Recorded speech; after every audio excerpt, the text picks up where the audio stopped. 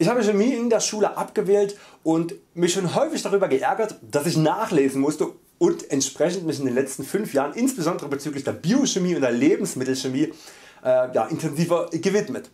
Entsprechend war es nur eine Frage der Zeit wann ich mal generell wieder der allgemeinen äh, Chemie mich zuwenden würde. Mit dem Buch Faszinierende Chemie von den Autoren Feil, Resak und Riebe wollte ich auf eine nicht zu theoretische Weise wieder an die Chemie als solches herangeführt werden. Das Buch bekam gute, sehr gute Kritiken und entsprechend landete es in meiner Rezensionsliste. Die wichtigste Information zuerst. Das ist kein Lehrbuch. Es beginnt zwar mit dem Aufbau eines Atoms und erklärt auch grundlegende Zusammenhänge, aber durchaus stark selektiv und die Lücken die dabei entstehen die könnten für Menschen die keine Vorbildung haben einfach zu groß sein. Selbst ich der die Grundlagen der Chemie mittlerweile beherrscht musste wirklich langsam lesen und das Buch äh, so bunt und populär es daherkommt das ist schon ein Anspruch anspruchsvolles Buch, das kann man schon so sagen. Also ein generelles leicht verständlich, das würde ich für den Durchschnitt der Gesellschaft nicht vergeben. Es wird durchaus versucht ähm, den ein oder anderen Fachbegriff direkt zu erklären, aber man könnte diesen viel besser einfach mit einem einfachen Wort ersetzen.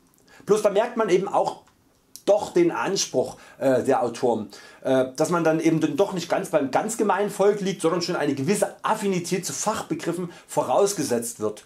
Äh, löblich, löblich allerdings ist, dass gerade im Kapitel der Biochemie ähm, vor allem der Zitratzyklus und die Atmungskette äh, so prägnant und anschaulich auf einer Doppelseite dargestellt wurden, äh, wie ich es persönlich noch nie gesehen habe. Es werden äh, dabei ausschließlich die grundlegenden Prozesse erklärt und zum Beispiel auf die Nennung der beteiligten Enzyme verzichtet und so weiter. Ähm, das wiederum diese, diese Einfachheit disqualifiziert dieses Buch natürlich dann auch für den etwas anspruchsvolleren Leser, äh, da man hier quasi die Grundidee suggeriert bekommt, aber die Details dann nachlesen muss.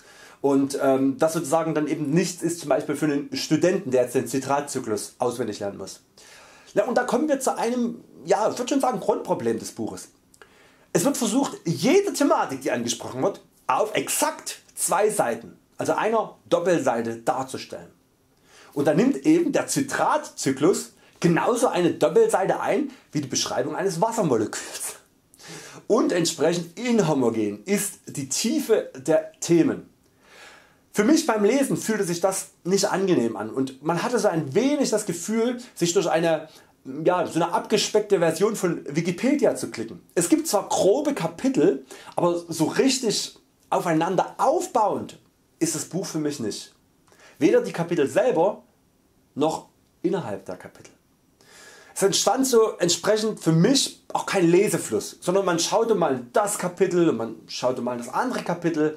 Ähm, es gab dann in den Kapiteln 6, 7 und 8 wirklich einige Aha Momente wo der praktische Bezug der Chemie zur Menschheit hergestellt wurde, ähm, aber wirkliche Begeisterung konnte das bei mir nicht auslösen.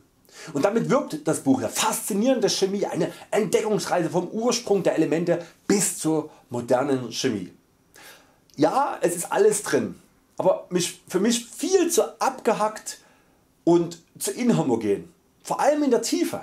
Das Buch soll farbenfroh sein, was ich als Farbenblinder natürlich nicht beurteilen kann, aber ob das denn bei einem Sachbuch unbedingt so notwendig sein muss, ja, sei auch mal dahingestellt. Ähm, das kommt halt einfach nicht mit rein in meine Bewertung. Dass tierische Lebensmittel nicht analog des aktuellen Zeitgeistes kritisch betrachtet werden, war zu erwarten und erwähne ich nur der Komplettheit wegen. Genau wie es bei äh, alten medizinischen Lehrbüchern, wo noch auf Menschenversuche referiert wurde, äh, das etwas befremdlich anmutet, wird auch dieses Buch entsprechende Reaktionen äh, in ein paar Jahrzehnten auslösen, da es selbstverständlich den Verzehr von anderen Lebewesen schildert.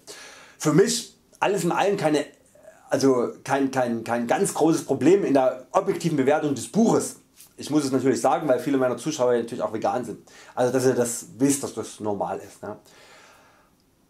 Entsprechend der Inhomogenität der Tiefe, was für mich und damit dieser schlechten Lesbarkeit, ist es für mich keine explizite Kaufempfehlung, weil mir persönlich überhaupt kein Käuferklientel einfällt, dem ich dieses Buch empfehlen könnte. Für den Anfänger ist es zu schwierig, für den Fortgeschrittenen oder den Studierenden zu wenig komplett und für den interessierten Laien auch einfach zu inhomogen in der Tiefe. Der Preis von 30 Euro für 300 Seiten ist vertretbar, aber auch schon an der Schmerzgrenze. Ich gebe oder ich vergebe hier äh, ja, solide 3 Sterne, weil sich Mühe gegeben wurde die Wissenschaft der Chemie etwas populärer darzustellen und ja, das durchaus auch gelungen ist. Der einen oder anderen Stelle, das merkt man am Vokabular.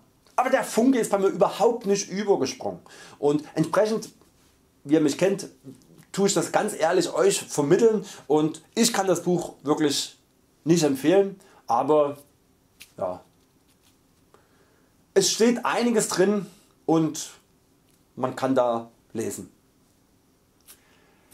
Ich wünsche Euch viel Spaß beim Lesen oder beim Nichtlesen. Euer Christian. Tschüss.